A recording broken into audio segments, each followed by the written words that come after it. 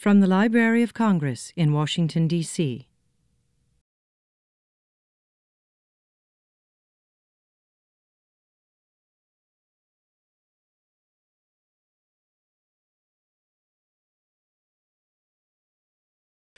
Good evening, folks. My name is Norman Middleton. I'm one of the concert producers here at the Library of Congress.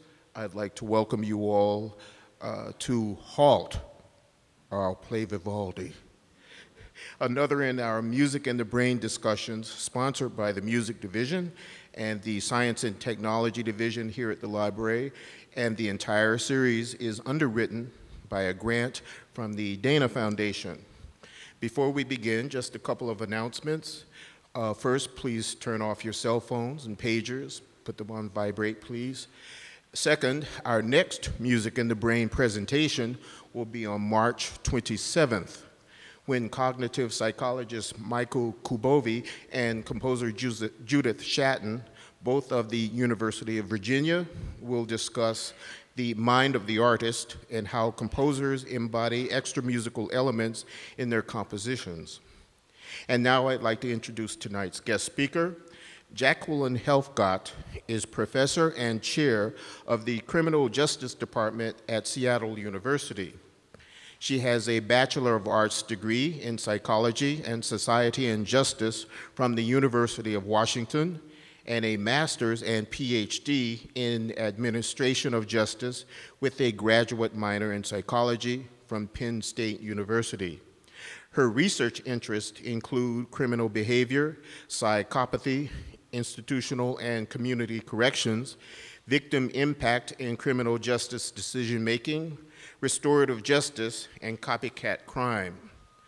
Dr. Helfgott's work has been published in several criminal justice periodicals, including the Journal of Forensic Psychology Practice, Criminal Justice and Behavior, Research in Political Sociology, the Journal of Contemporary Criminal Justice, the International Review of Victimology, the International Criminal Justice Review, and the Crime Victims Report. Dr. Helfgott serves on the board of directors for Interaction Transition, which is an ex-offender transition house in Seattle's central area, and on the advisory board for the Washington State Department of Social and Health Services Special Commitment Center at McNeil Island. She is the author of Criminal Behavior, Theories, Typologies, and Criminal Justice, and is currently working on a book titled No Remorse, Psychopathy and Criminal Justice with Sage Publications. So the way the discussion will go tonight is I'll first provide some background information and some examples of music and crime, and then Dr. Helfgott will then explain the science and criminology behind it uh, with her PowerPoint presentation, and then we'll end the discussion with Q&A. So the first question is, why is Halt, or I'll play Vivaldi, part of the Music and the Brain series? Well, first we have to consider several issues. What is music? For what purpose is music? Why do we listen to the radio, our stereos, and our iPods? Why are we even here tonight? Music exists not only to communicate, but to also encourage emotional and physical responses in human beings, as well as to assuage the spirits. And the art form is employed in scientific ways, such as music therapy, and sociological ways as well, including elevator music or Muzak, and of course, music and crime. In 1697, William Congreve wrote, Music has charms to soothe a savage breast, to soften rocks, or to bend a knotted oak. Who knew that Congreve's phrase, commonly misquoted as music hath charms to soothe the savage beast, would maintain its pertinency over the centuries, even before Congreve wrote it? Who we know that the biblical we know about the biblical story of how David played his lyre for King Saul when the monarch was in bad spirits. Some of you may know the story of the Castrato Farinelli performing the same duty for Philip V, King of Spain, who suffered from severe depression. In addition, we have the sirens of Greek mythology who lured sailors to their deaths with song.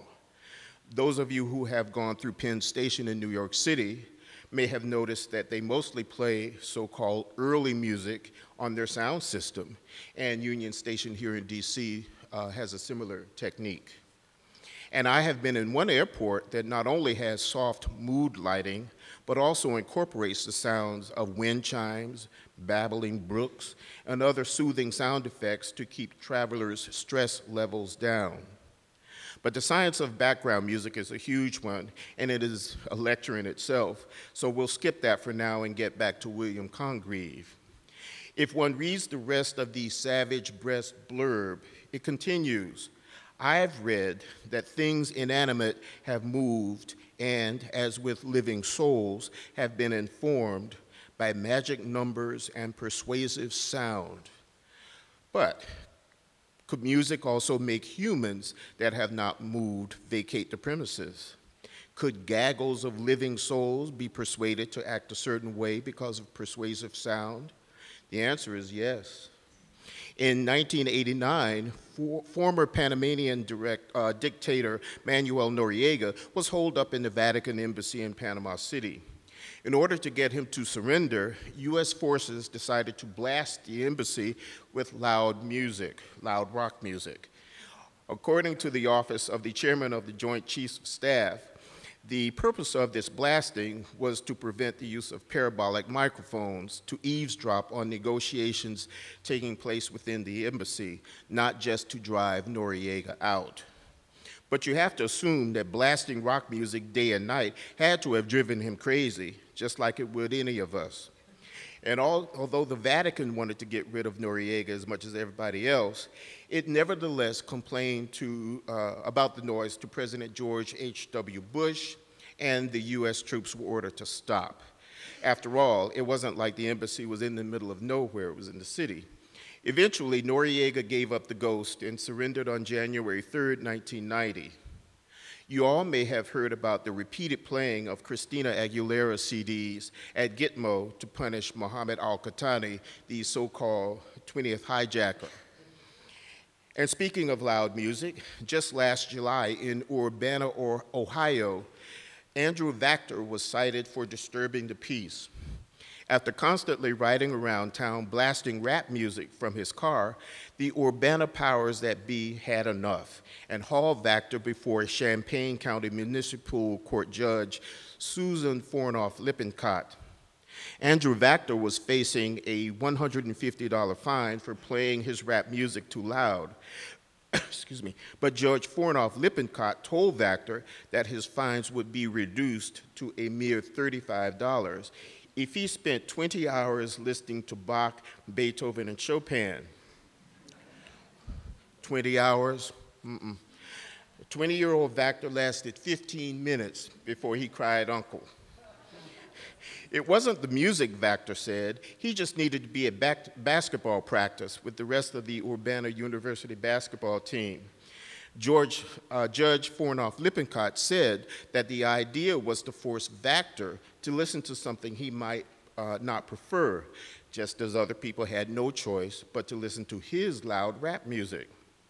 So a few years ago, I read an article on how classical music was also being used by law enforcement to repel drug dealers from certain hotspots in the city.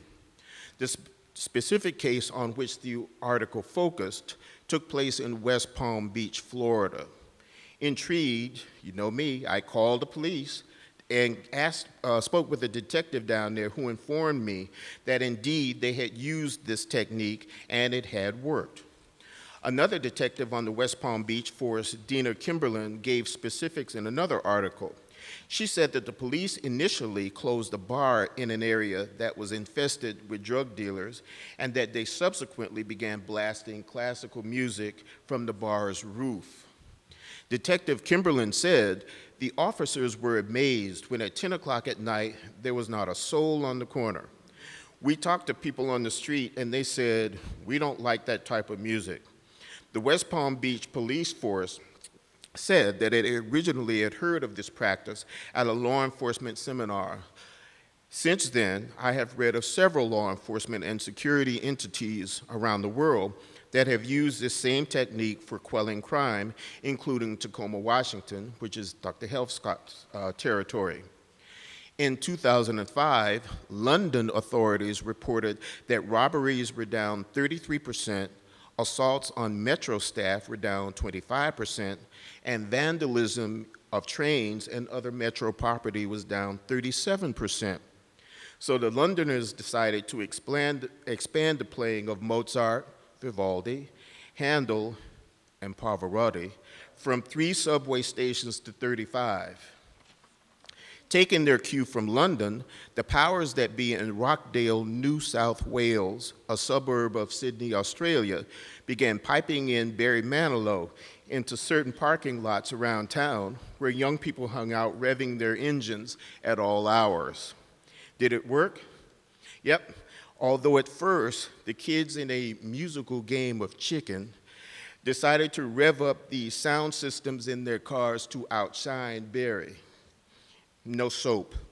No amount of rap, heavy metal rock, or any type of music the kids had in their oral arsenals could stand up to Mandy and one moment in time. the kids had enough, and one by one they left the premises never to return. You all may have even seen the snippet on CNN recently where they discussed using Barry Manilow's songs to get rid of mall rats, as they call them, in Christchurch, New Zealand. So the issue becomes a chicken and egg situation. Are young people simply reacting to what the music sounds like, no matter its genre, or are they reacting negative, negatively because these musics are not considered cool, no matter what they sound like? And this leads us into the issue of music and personal identity. Because we're, first, because we're focusing on classical music, it helps to think about how classical music is thought of both historically and currently in European-based societies. And we're focusing on instrumental classical music, not opera, which is a separate issue. The notion of the general public going to a concert hall to hear pieces of classical music like you're doing tonight didn't come about until the latter part of the 18th century, although there were early exceptions like J.S. Bach's Collegium Musicum. In addition, the idea that this music is the highest, most noble of art forms developed over the 19th century to become the coat and tied, tuxedoed, sedate, no talking, hands folded, no cell phones environment that we all know. As for personal identity, many young people and people of color still view classical music as white people's music, music for old people, and music for the upper class. And the type of music used in these situations is soft Baroque music and Haydn, Mozart, and Beethoven chamber music. So as you guys might imagine, to a bunch of urban, testosterone-laden gangbangers, hearing Bach's Brandenburg Concerto Number no. 4 or a Mozart piano trio sprinkling down upon them on a dark street corner at 10 p.m. like some kind of sarcastic manna from hell would not go over too lightly. Some of you may have realized already that this technique is controversial and not just in classical music circles. As I mentioned before, the City Council in Rockdale, Australia decided to officially decree their Manilow effect after abandoning the use of the mosquito to do the same thing. Uh, have you all heard of the mosquito? Uh, a high-pitched sound similar to that produced by a dog whistle.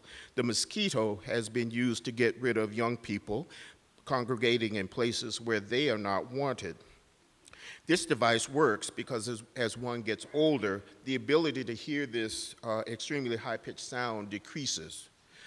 So the mosquito becomes harmless to older people because they simply can't hear it. But using this sound in this way is potentially litigious as one is messing with one's ear apparatus. And plus, in this case, the young people simply started using the mosquito as a ringtone. So, Rockdale, Rockdale decided to squash the mosquito in favor of Barry Manilow, Rosemary Clooney, Frank Sinatra, and others to repel these hooligans. But guess what? Barry Manilow, when he heard about this, Barry was not amused. nope. Mm-mm. Barry wrote to Rockdale and told them that if you played any music long enough, it would drive people crazy. And who knows, the kids might have learned to like Barry Manilow's music. Then what would Rockdale have done? So, on that note, I'll turn the floor over to Dr. Helfgott, who will uh, explain the criminology and science behind this technique of uh, using classical music and other kinds of music to quell crime. Thanks. Um, hello. Um,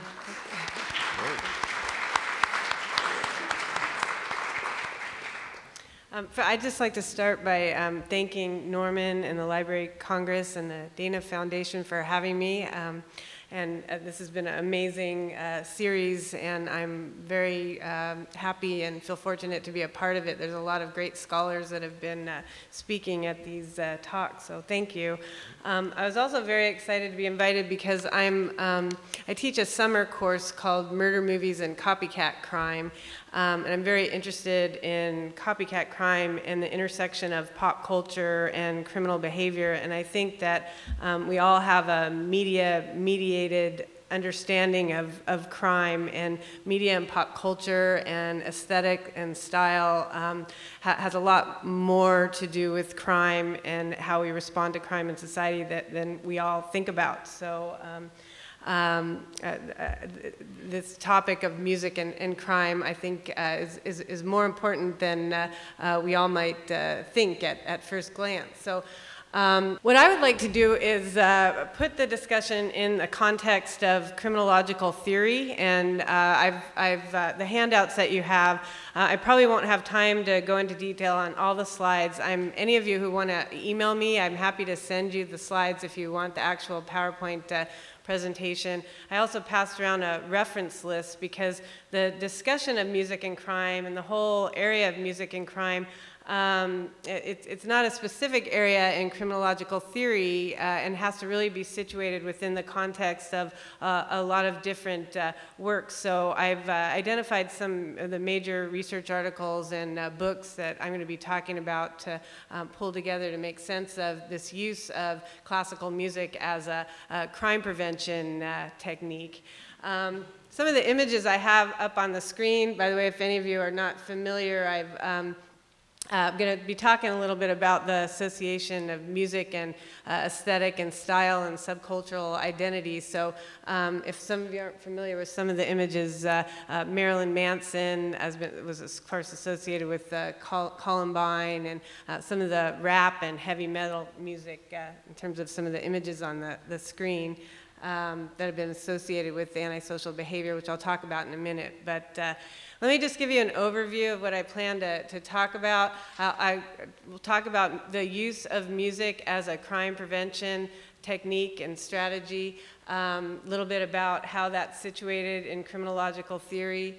Uh, talk also, Norman was touching on some of this, the relationship between music and style and subcultural identity. Norman talked a little bit about personal identity and, um, and then how that's wrapped up with the, um, or uh, uh, how that is relevant to the use of, of classical music in crime prevention. And then some of the ethical issues and also methodological issues in studying the effects of using classical music to deter crime. Um, in terms of uh, making sense of, you know, why would uh, law enforcement or community want to use classical music as one of their crime prevention strategies? There's three things I think to, to keep in mind in, in, in terms of understanding uh, the use of classical music as a crime prevention tool. And one is um, the relationship between, and, and this, by the way, is the um, um, least important of the three, but one is the um, relationship between music and human behavior and human physiology.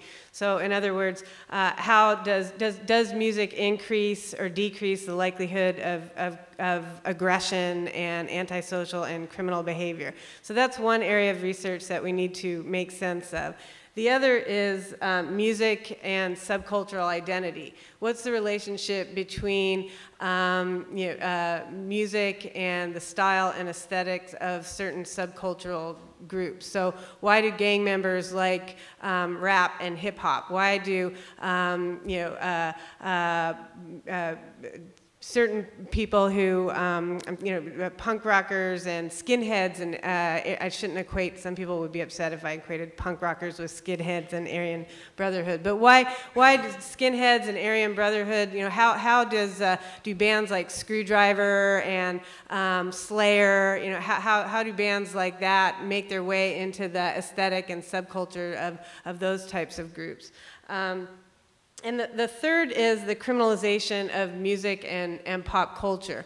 The types of music in society that we decide to uh, criminalize play a role in the decision making processes of the uh, people involved in certain types of uh, antisocial behaviors. So when Norman says that you know, certain individuals don't want to stand on street corners and listen to Barry Manilow, and Barry Manilow's not happy about that. it's, it's, it's less about Barry Manilow music, and it's more about the types of music in society we've uh, decided to criminalize or associate with certain types of, of uh, groups. And that, I would argue, is the most important um, component of, of this and the, the uh, most important part of understanding the rationale behind using uh, music as a crime prevention uh, technique. So I, I want to talk a little bit about the uh, dominant criminological theory um, uh, uh, within which this, this whole idea of using classical music to deter crime is situated, and that is uh, routine activity theory. Um, which routine activity theory comes out of the work of Marcus Felson, who wrote the book Crime in Everyday Life. And uh, Felson uh, uh, uh, explains crime in terms of um, it being a routine activity. Crime is not an aberration, crime is not abnormal, crime is normal. And all we need to do to, to change crime uh, or deter crime, to deter crime is to change the composition of the environment. And so, um, and I won't go into to, to details on the elements of uh, uh, routine activity theory, except to say that the main uh, principle behind routine activity theory is that if you uh, uh, increase the control, controls and decrease temptations, you'll reduce crime. And so there's a lot of different things that we can do within an environment in, in terms of changing the composition of that environment uh, to reduce crime when we talk about using music to reduce crime, we're talking about, and I've, I've talked to law enforcement officers about this who've uh, used uh, crime prevention uh, strategies, and the main strategy is crime prevention through environmental design, otherwise known as CPTED, which is an example of the implementation of routine activity theory. And music is used uh, like a spoke on a wheel in conjunction with a lot of other different crime prevention strategies in order to change the nature and composition of an environment in order to decrease the likelihood that certain types of crimes will occur. Oops, that's doing this again. Sorry.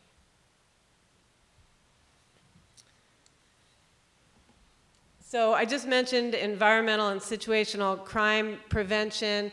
Um, uh, situational crime prevention pertains to changing situational aspects of the environment. Environmental crime prevention uh, pertains to changing the actual, you know, the, the way um, uh, communities are, are built. And uh, for example, the whole city of Vancouver in Canada is, uh, base, is built based on environmental crime prevention um, uh, in terms of the architecture of that community. So whole communities can be um, built that way. But um, but, uh, and then the other term I just referred to is crime prevention through environmental design, which incorporates situational environmental crime prevention.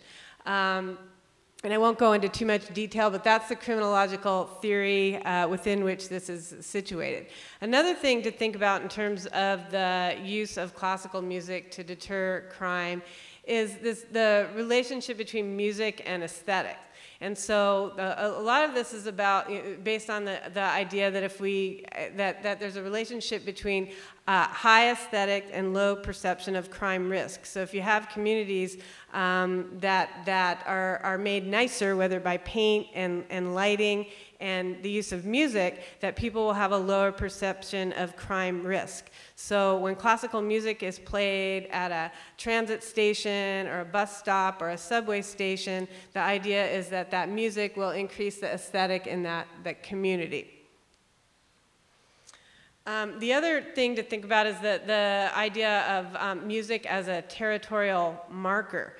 Um, so, in other words, if you are playing classical music in a particular area and the hope is that the gang members in that area will move down the street, then you're basically saying, you know, we're, we're going to um, uh, beautify this area, and part of the beautification of this area is to play the classical music, and this is our territory. Uh, and, and you need to move down the street. And uh, so uh, uh, a big part of this is the, the use of music as a territorial marker. Now, and this didn't show up on your PowerPoint, so this is why if you want me to email this, uh, I, I, I, can. But there's a, a, number of different techniques that have been used um, in crime prevention through environmental design to create boundaries uh, and to, to de decrease crime through the use of, of boundaries. And for example, lifting building entrances to, to make the building uh, uh, seem to be distant or, or, or off limits to people walking by um, increased lighting, cutting back trees. There's, there's a lot of different CPTED uh, techniques, and music is just one uh, small part of those different uh, techniques. Um, uh, Norman already mentioned a number of different examples, but here are just a few more examples. The music has been used as a crime prevention technique around the world for many, many years, so it's not a new uh, development. So, um, and in, in some communities, it's really, uh, you've got the residents coming up with ideas. I just the other day spoke to a, a, a officer in the um, uh, Seattle-Tacoma area who said that in his community, the residents decided they wanted to play country music uh, to deter gang members from their neighborhood. And he said it worked. It moved them a block away. Uh, and, and that came from, and I asked the officer, I said, well, did they know the science behind it? Did they know about crime prevention through environmental design? Where did they get the idea that country music? And I don't know, they just got the idea that the gang members wouldn't like country music. And, and that was the same um, neighborhood where the um, citizens in that neighborhood decided that they were going to set up a card table and play pinochle on, on the, the, there were senior citizens in the neighborhood, and they decided that that's what they were going to do to try to. So, so, in some communities, it's really a grassroots effort. Again, getting back to that issue of you know people are really tuned in to, to some of this stuff, the, the relationship between uh, pop culture and its effects on uh, criminal behavior. Um, I want to talk a little bit about just some of the, and, and, not spend too much time on it, but the, the research on, you know, does uh, this work? Does it work to, uh, uh, if, if you play classical music, are you going to deter crime? And um, in, in, terms of, I don't, you won't find, in fact, I haven't seen any empirical studies specifically focusing on the use of classical music. They could be out there, but I haven't seen um, them. And uh, there's anecdotal accounts. There's uh, law enforcement officers who will say, yes, this works. I spoke to a commander in, uh, uh in, in, my area, a police commander, asking him if it uh, had worked in, uh, in my area, and he said, well, we played it outside McDonald's for a while and it didn't really work, but what really worked is that when we, we kept the loudspeaker up there and we said, please leave the area. You know, we and, and that worked. that worked better than the classical music. And so, um, you know, the studies on CPTED, te CPTED techniques have shown that, yes, crime prevention through environmental design is effective if many different techniques are employed. Um, how effective classical music, Barry Manilow, opera, some of the uh, country western, uh, how effective the different types of music are um, is, is, an empirical question that we need to answer that we haven't had specific studies on yet. Um, so, uh, uh so, so the techniques are effective. How effective music uh, is, we're not uh, yet sure. Um, if you're interested to know just some of the early origins of environmental and situational crime prevention, here's some of the classic works that uh, those uh, methods are, are, based on. Um, I also wanted to, to, talk for a minute about another principle behind uh, routine activity theory, and that's what's known as the potato chip principle or the principle of limited rationality. And so this uh, basically says that, back to that whole idea is cr uh, that crime is normal, everybody is, has the potential to engage in, in criminal behavior. Uh, if you change the composition of the environment, you'll make crime more or less tempting. And so back to the whole issue of using music and some of these other strategies, um, if we have classical music there, it's going to create this uncool environment, and it's just going to be a, a little piece of the, in terms of altering the composition of the environment that will make a person less likely to eat more of those potato chips and engage in uh, criminal behavior. Uh, another principle that's associated with situational environmental uh, crime prevention is called the Crow-Zom mixing principle. Uh, which is what I referred to before with the pinochle games, that, that if you uh, mix safe activities in unsafe locations, then you'll alter the composition of the environment and decrease the likelihood uh, of, of crime occurring. So you're changing the composition of the types of individuals in the environment, and music has a potential to, to further that along as, as well. Uh, uh I'm going to skip over. How are we doing on? Uh, yeah. Okay. Um, so other elements of uh, crime prevention through environmental design is the idea that, that uh, we need to make it make spaces um, not okay for crime to occur. So when we talk about music again and increasing the aesthetic in a particular uh, community, it, it's all about again changing the types of people that are going to be in that community mixing safe activities in unsafe locations and, and changing the goings on in a particular environment to make crime less likely to occur or uh, antisocial behavior less desirable for people to engage in in, in that, that community. Um, some additional principles of um, crime prevention through environmental design uh, to control the natural access um, provide natural surveillance and uh, to foster territorial behavior. The, those principles, uh, much of what I've, I've mentioned already, touch on some of those basic principles of uh, designing crime out of, of communities. The other important component of this, so that's, that's how uh, the use of music in, crime, in, in deterring crime is situated within criminological theory. And routine activity theory is a dominant theory in, in cr criminology, and the whole idea that crime is normal and we can change the environment to, to reduce crime. But another component of this comes from the work of Jeff Ferrell. He's, he's wrote a book called Cultural Criminology, and he just came out with a recent uh, uh, uh, edition of that, which is on your reference list. And and, and, and what he talks about, again, is the relationship between pop culture and criminal behavior. And in order to make sense of why gang members would leave an area where classical music is played, we really have to have an understanding of that relationship between music and personal identity and subcultural identity and the style and aesthetic of subcultural groups.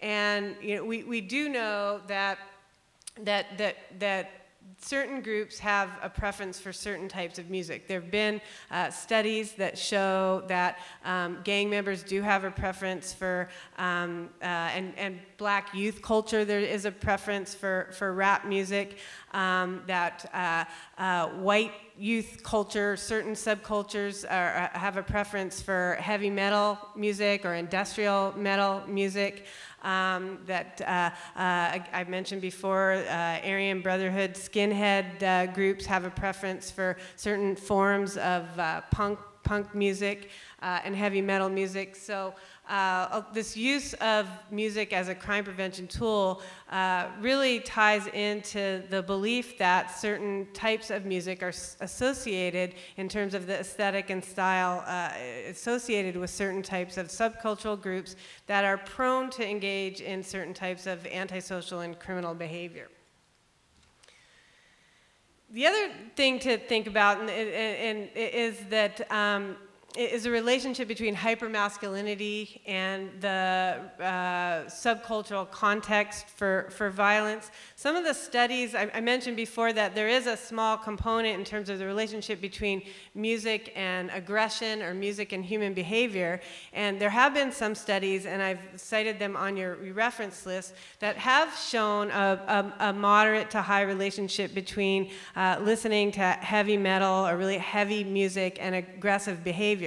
But uh, once gender is controlled for, that, that relationship uh, doesn't exist anymore. So in other words, it's the maleness factor that and the association between hypermasculinity and certain types of, of music uh, that are explaining that relationship between music and the aggressive uh, behavior. Um, and you know, it makes me think of the thing that uh, a lot of uh, criminologists will say. Many used to be feminist criminologists. Now, many criminologists, I think, will say that the one thing that we can do to reduce crime is to socialize little boys as if they were little girls. So people don't usually like to hear that, but the, the, the, uh, some of the studies on the relationship between hypermasculinity um, and music and aggressive behavior uh, also suggest that. I, I, already just mentioned this, uh, the, again, the, the um, relationship between uh, music and behavioral problems can, can almost wholly be associated with uh, male uh, socialization. And so, and, and, and hypermasculinity and, and hyper masculine uh, uh, cultures and their association with uh, antisocial behavior and um, the types of music that are associated with those uh, groups. I already also mentioned that there are the studies that associate different uh, subculture, subcultural groups with certain types of uh, um, behaviors and music. Uh, and Norman already mentioned that uh, Barry Manilow was listed on the top 10 uh, most terminally uncool uh, uh, music uh, list of, of, of, types of music. And, and so there, are, there is this notion in culture that there's music that's uncool. And I would argue that if, if we criminalized classical music, and if we started some moral entrepreneurial campaign to uh, make classical music cool and, and to criminalize uh, other types of, uh, to criminalize classical music and associate rap and punk and heavy metal with you know, people who are more elderly and uh, I shouldn't say elderly, elderly is not uncool, but, but certain, I should say, uh, uh, I should say associate uh, uh, uh, how do I want to say? You, you know what I'm talking about. but, but, but, but, but we could, we could create a, a society where classical music is associated with hypermasculinity and, you know, cool, cool behavior. You don't think so? But, but I would argue that a lot of this is, is about, you know, what we're all told um, is associated with being hip, cool, and young, and it's less about the music and, and more about um, all of that. Um, and, and there has been, and I think Norman also uh, mentioned this too, that, that, there's this belief that the music from the Baroque period is, is the music that has the most, uh, is the most effective in terms of deterring crime or repelling uh, youth. And it's, it's, it's because of the unfamiliarity of the um, tones, and so there's some uh, aspect of, of, of that as well. Um, so, so anyway, so, so in terms of the, the, um, the, the, association of, of music and subcultural style and the ideas in culture about what music's cool and what music is, is uncool, uh, all of that plays a, a, a huge role in uh, the decisions about what types of music to use as a CPTED technique to deter crime. But the last thing that I want to talk about uh, around some of this is, um, well, I already mentioned some of the methodological issues, but uh, uh, the, one is the methodological issues. You know, is it effective to use music as a uh, crime prevention technique? And we do need to have more empirical studies to uh, determine to, uh, you know, what music should be used in what areas, how effective is it really to use music. And it's relatively cheap to use music, just put up some speakers and And so it doesn't cost communities a lot to, to do that. Um, but we do need to know in terms of how effective uh, is it as a crime prevention through environmental design uh, technique. Um, the other thing that is just really interesting to think about, and it's a much larger discussion than we have time for here, but uh, a number of uh, writers have, uh, and, and, researchers and scholars have uh, raised this issue of um, whether or not the use of music as a, a, crime prevention through environmental design uh, technique is a misuse of music to harm. And a lot of that is related to that issue of um, using music to mark the territory of certain communities and also the, the whole idea that, that, that classical music is high culture and heavy metal is low culture and we're going to label the, the uh, uh, music and the aesthetic and style of, of certain groups as high and low uh, culture. And so um, the, the, the issue of uh, whether or not it's ethical to do that has been raised by a number of, of authors, and some of the uh, articles on your uh, uh, reference list uh, discuss um, some of that. Um, so I just left you with uh, uh, a couple quotes to, to think about along these lines. But the, the bottom line with some of this is that um, this whole uh, idea of, of using music to, to mark territories has ethical implications uh, if we're really going to uh, um, uh, use music to mark the, the territories of, of certain communities.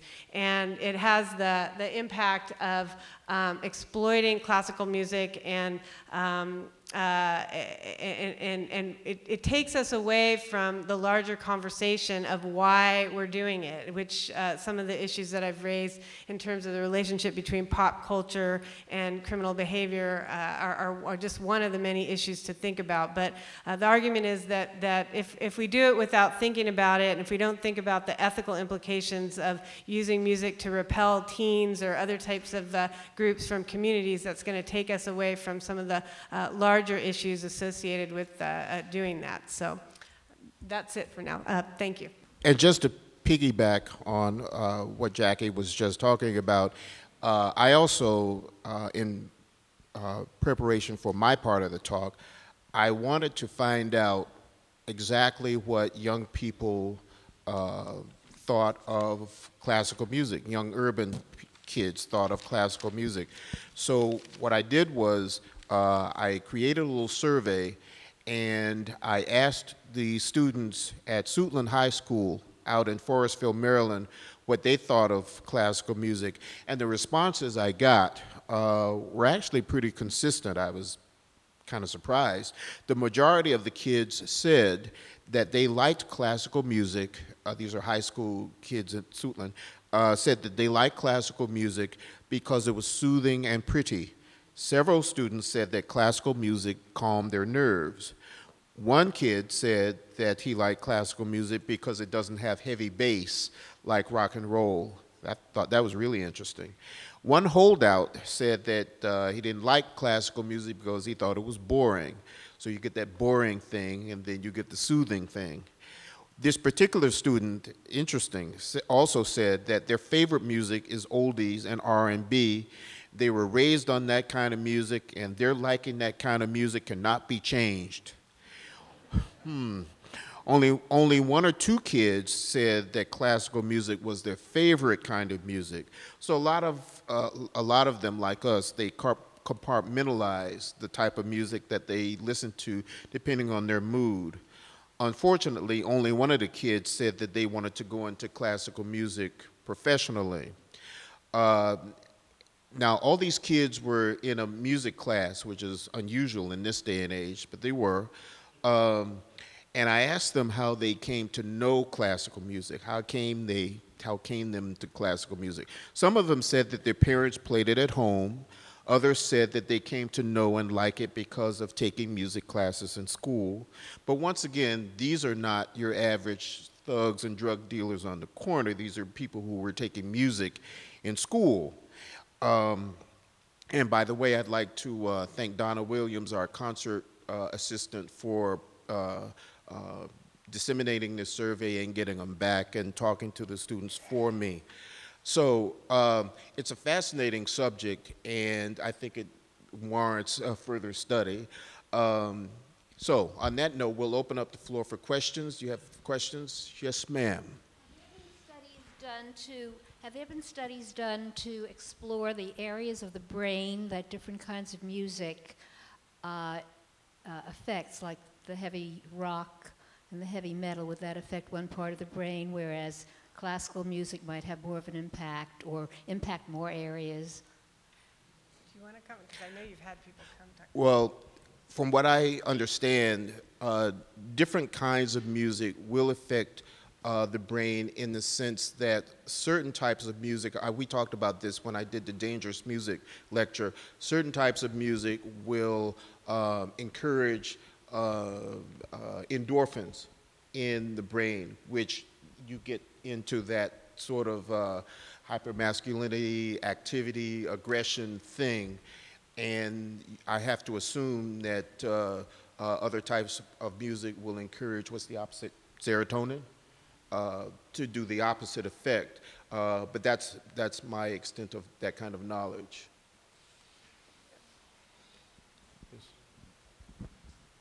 I just, I, am sort of remembering Stanley Kubrick's film A Clockwork Orange, where a very violent episode takes place to the tune of classical music. Mm-hmm. And I seem to remember that Stanley does this to be ironic, but it's also classical music that's being played as a way of controlling the environment. This is considerably before some of your studies. But do eh, your studies show anything that suggests, as Mr. Kubrick seems to be, that one can overuse this technique and that it loses its, its effectiveness? I thought you were going to say something about, because there was a, a copycat crime where the rapists actually played some classical music while they were engaging in a you know, but but but uh, uh, but. Uh, in terms of, you know, you mean we're, we're well, I think that gets to some of the ethics of, of some of, you mean playing classical music in the communities and having it be programmed in so that we repel. Yeah, I mean, certainly I think it has that potential, and that's why, you know, if, if, if people adopt, I mean, I, I, I forgot to mention the business though about, uh, you know, the question of are, are we uh, displacing crime or diffusing crime, diffusing crime? And so, you know, we're moving crime a block away. Are we con really controlling criminal behavior by playing classical music? No, I mean, we need the studies that show that. If we had studies that showed that it actually did diffuse crime, that we actually did decrease the likelihood, you know, on a more widespread scale, yeah, I'm sure it would have the potential to be used um, for harm and used in a very negative um, way. And if you also uh, think about whether uh, if you walked into a department store that constantly played classical music over the sound system, uh, would that store have less shoplifting? We don't know, probably not. You know, so uh, you have to think about that. There is another aspect to this uh, that I'm thinking about doing in another lecture, as to the sinister uses of classical music uh, to control behavior. That, that's a whole nother area. Uh, so uh, stay tuned. Um, yes, yes, yes, yes. Yes, I was tempted to ask how many um, residents moved out when they began playing country music, but I won't ask that. uh, department stores, which we mentioned briefly, have a common belief among management that the type of music that they play has an impact on the sales. Wait there, a minute, you're giving my lecture away. No, go, go, go ahead. No, no, no. There go has ahead. to be some sort of empirical studies on that subject. And I don't mean to take your lecture yes. away, but it yes. seems to me very connected, both in the morality and also in the effectiveness arguments there have been studies done by marketing uh, entities on this. Uh, well, I'll give some of it away.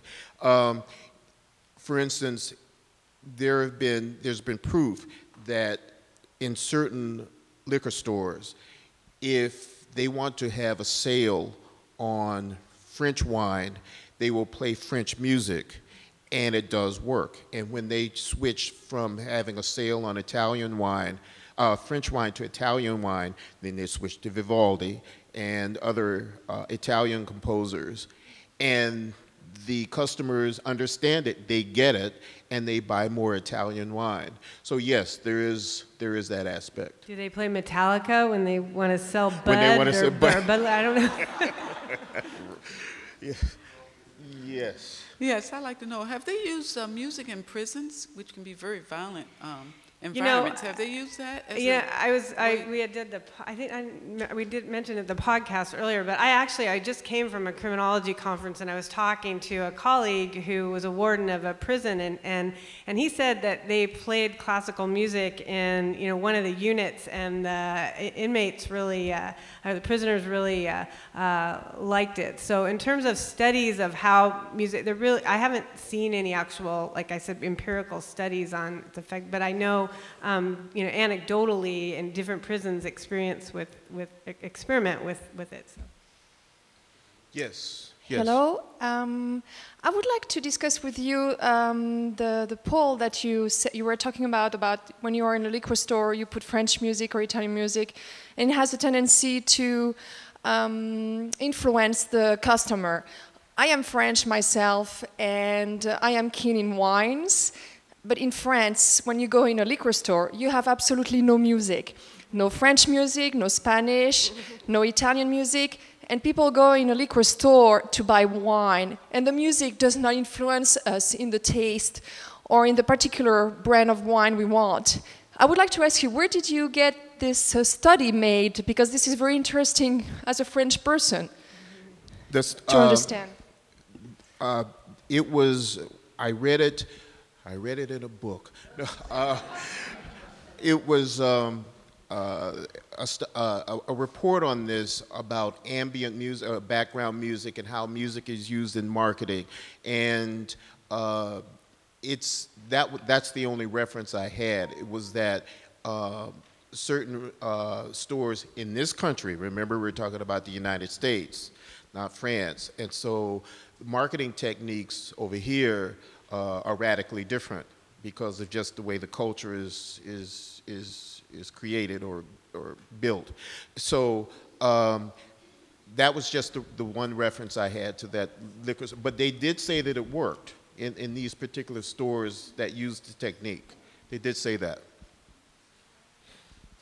Yes, ma'am. Is there any evidence that sort of whatever you're playing, the, the music, it kind of wears off? I mean, that after a while, people don't hear what, hear it? Or, I mean, it sounds like not. It sounds like this, it goes on. I mean, my experience with it is that, you know, it, I stopped noticing it after a while, but Well, like I said, there haven't been any studies that have looked at it. I know some communities, the law enforcement were worried about it, really annoying people and you know shooting out speakers and stuff like that. But uh, um, you know, it has the potential to do that. That I'm, I'm, I'm sure. But I think in a lot of these places, uh, it hadn't. In some, many of the places, it hasn't been used for long periods of time. So.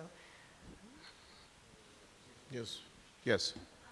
I was just in London a couple weeks ago, and uh, in the tube, and uh, I was in London in the tube, and I did hear the classical music in, in mostly in the downtown area in the tube, and you know I didn't think about that it might be some sort of um, sociological control mechanism, but it was very nice. I enjoyed it, and people seemed very calm and. Uh, and, and, not upset, and there were many young people in the tube with me. So um, uh, I, it seems to me, amongst the criminology studies uh, and the psychology studies, I'm surprised that there aren't a lot of references, and there aren't a lot of um, studies of testing low-level classical music in prisons. It, it seems like a great PhD. Why not get your students involved? What do you mean low level? What does that mean? You mean play? Oh, volume wise.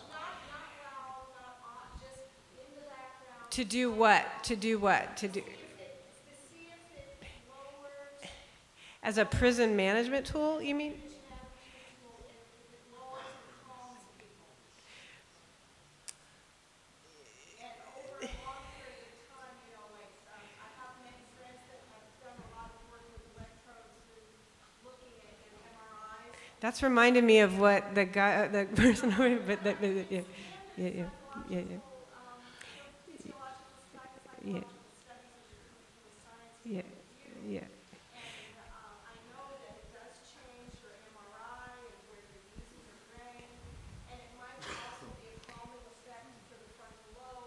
Yeah.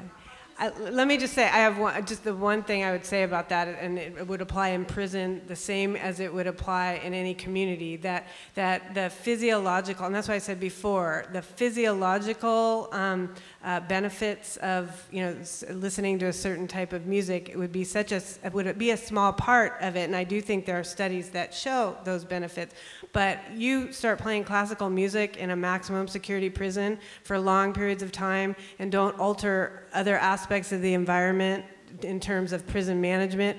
And the classical music alone is not going to reduce the number of prison infractions and, you know, without having it be part, just like in the community, of a whole larger um, a change in the composition of the environment. So, but.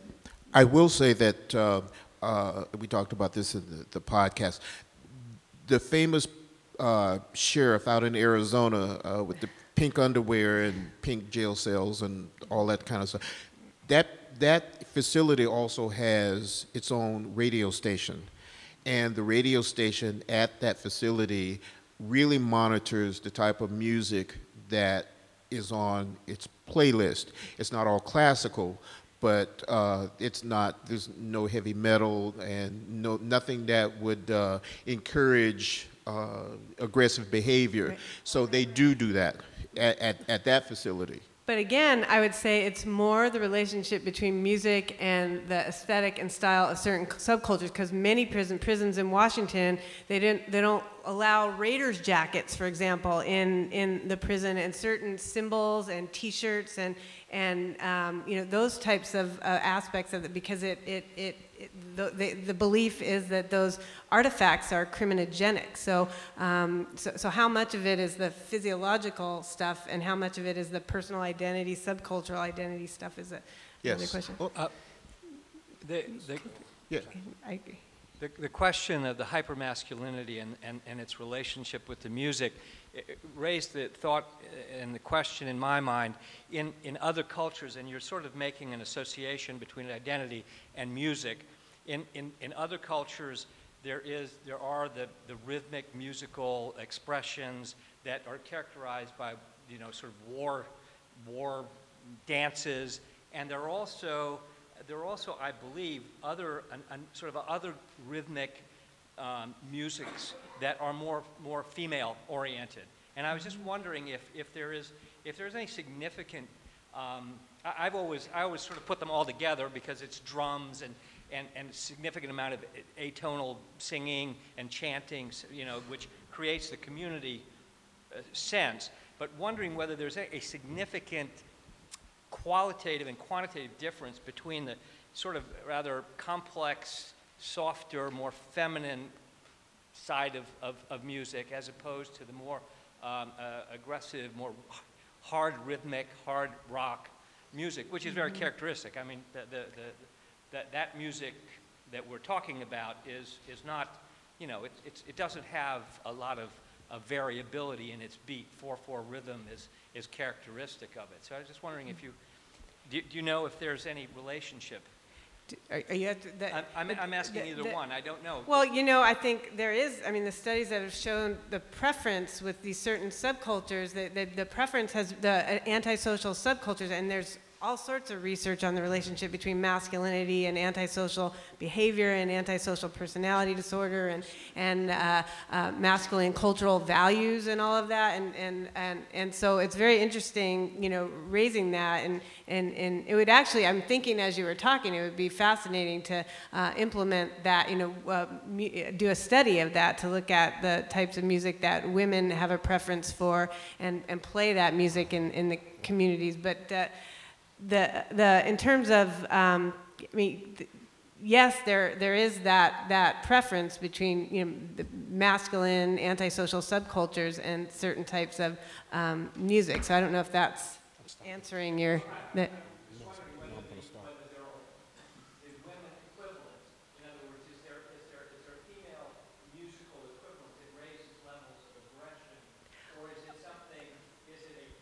L7, there's all sorts of old, I mean, yeah, I mean, I think there, I mean, I, I don't know that there's studies uh, on it, but uh, there's a whole area in criminology on the, you know, the rise of the new violent female and, and in the early 90s and the pop, aspects of pop culture in terms of film and, and music that were associated with increased level of female ag ag aggression. But it's really an interesting question to think about. Uh, we've got to stop. I got to get you guys back downstairs. Uh, please thank Dr. Helfgott again.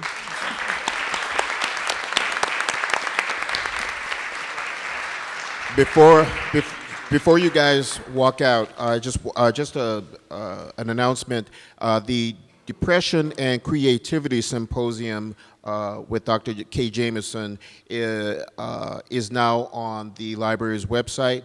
Uh, just go on the library's website, LOD, loc.gov, uh, click under webcast, and then under that, click under culture, and you will get uh, Dr. Jamison's uh, symposium. Thank you very much. our next Music in the Brain is on March 27th. I'll see you there. Thank you. Thank you.